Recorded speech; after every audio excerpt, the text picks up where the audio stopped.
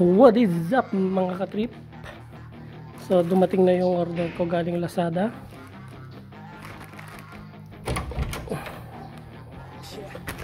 Open natin dito.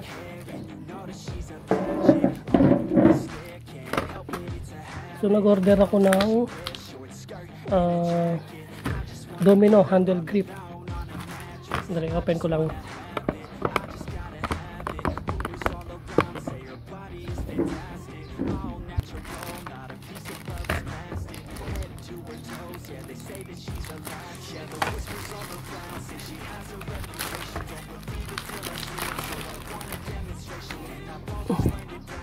So yun, red black combination.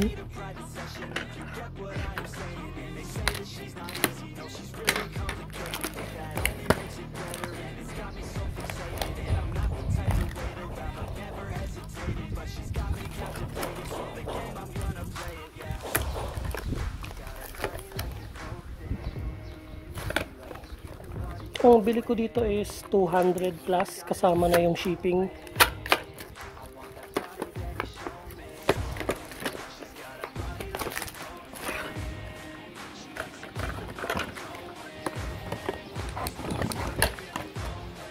Siya. So, ito na mga katrip, yung handle grip galing sa Lazada. So, yun nga, uh, this is 200 pesos only. Kasama na yung ano, yung shipping fee dun, no. So, yun, class A lang po tong domino na handle grip na to, mga katrip. Pero para sa akin, eh, okay na rin mapagtsatsagaan. So, ayan, kita niyo yung mga imperfection niya. Pero yan, ah, uh, mukha naman siyang komportable sa kamay. Then, uh, may bar end na rin siya. So, iba-iba yung kulay nito. Ito lang yung pinili ko, ah, black, red. Meron dun gray, yellow, blue. So, ipa-flash ko na lang sa screen kung kanino ko binili. Ito yung may mga tira-tira pa siya. Pero, yun nga, tulad ng sabi ko, budget meal. Kailangan magtipid. So, tara, uh, install na natin. So, ito yung uh, luma kong handle grip, mga katrip, uh, RCB. Yung pinaka-issue ko rito, eh, sa tuwing hahawakan ko to, sa tuwing magdadrive ako, parating pinagpapawisan yung kamay ko. Eh, hindi naman ako pasmado. Tingin ko dahil dito, sa pagkaka-finish niya. Hindi ko alam ha, kung ako lang, pero ayun, sa tuwing magdadrive ako at hahawakan ko to, yung kamay ko pinagpapawisan. Plus, yung isa pang issue rito is ito, ewan ko nakikita nyo, yan o. Meron siyang hukay dito dahil sa thumb ko. Pag kumakaskas siyang ganyan, so ayun nasisira siya. So, ayun. Pero, uh, pag tatanggalin ko to, hindi ko siya sisirain. Baka kasi magamit pa natin. So, ngayon, kayo, kung hindi nyo na kailangan, pwede kayong kumuha ng cutter and hiwain nyo dito. Para mas madaling tanggalin. Ito kasi sigurado mahirap tanggalin yan to eh. Sigurado kapit na kapit to.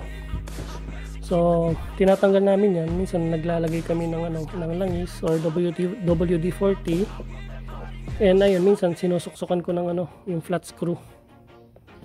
So tanggalin na natin.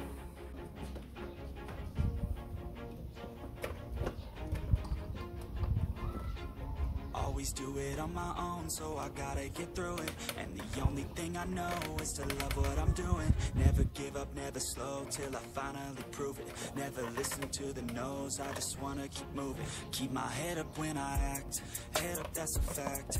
Never looking back, I'ma keep myself on track. Keep my head up, staying strong, always moving on. Feel I don't belong, tell my thoughts to move along. Push myself to be the best. Die with no So okay na mga katrip ah. ha, natanggal na natin. Ito yung damage doon sa thumb. Bali, nagagasgas na siya ng thumb ko. Kaya, ayan. So, itong isa may konting bakbak. So, hindi tayo nahirapan sa pagtanggal kasi Siguro dahil hindi pa ganun katagal tong handle grip ko. One year pa lang siguro to. Kaya magagamit pa natin. So, at saka ano, hindi rin ako gumamit ng langis or kahit na anong uh, pampadulas para matanggal. Ano lang yung, ah, ano lang ginamit ko, flat screw lang. So, ayun, natanggal na siya. So, ito na yung ano natin, bagong handle grip. So, pag install nito, ewan ko kung nakikita nyo, merong magkaiba yung butas ng dalawang yan. Yung isa malaki, yung isa medyo maliit.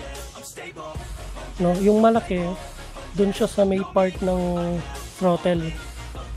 Okay, yung malaki. Yung maliit na butas, dun siya sa left side. So, tanggalin muna natin tong yung siya naka-usli na rubber. So, okay na, install na natin.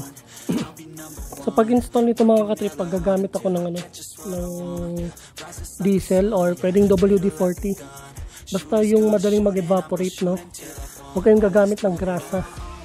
Hindi ko baka hindi kumapit yung handle grip dun sa handlebar natin. Hindi katulad ng WD, WD-40 or uh, diesel, nag-evaporate so madali silang matuyo. So, yan. Install na natin.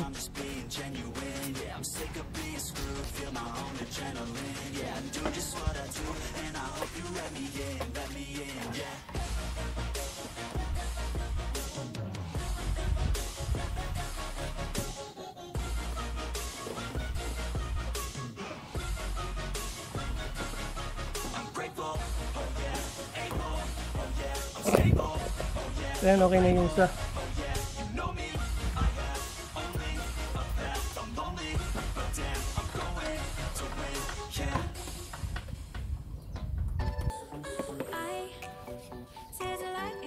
So yun nga, nilagyan ko kasi ng diesel kaya medyo hindi tayo hirap sa pagpasok. Pero ayan, okay na. Budget meal. So yun mga katipa, na-install na natin. So medyo yun nga, quick vlog lang to.